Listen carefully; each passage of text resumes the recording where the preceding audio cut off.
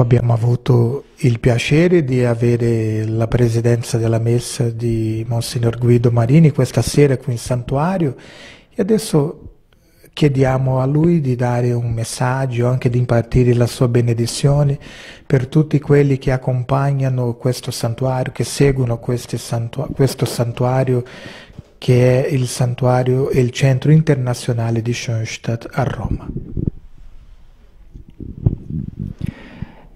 Stata una grande gioia essere qui oggi, celebrare la messa e visitare questo santuario della Madonna di Schoenstatt. E la gioia è anche più grande perché alcuni fratelli e sorelle hanno fatto la loro alleanza d'amore quindi hanno vissuto un momento importante della loro vita di fede. Ecco, ringrazio il Signore che mi ha dato questa opportunità di vivere un momento tanto bello e significativo.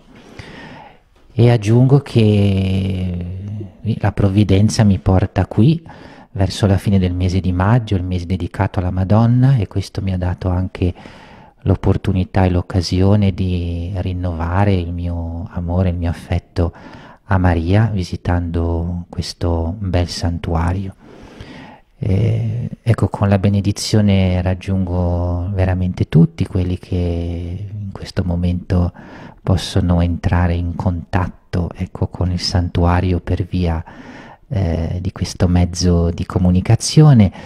E chiedo per tutti al Signore, per intercessione di Maria, che la vita di fede possa essere una vita vissuta secondo una misura alta, come diceva San Giovanni Paolo II, ovvero secondo la misura della santità, perché come diceva un autore famoso, ci si accorge via via che si va avanti nella vita che c'è solo un'unica tristezza vera, che è quella di non essere santi. Ecco, la Madonna ci aiuti a percorrere con audacia, coraggio, gioia, questo cammino della santità, perché a questa il Signore ci chiama, questa è la nostra vocazione.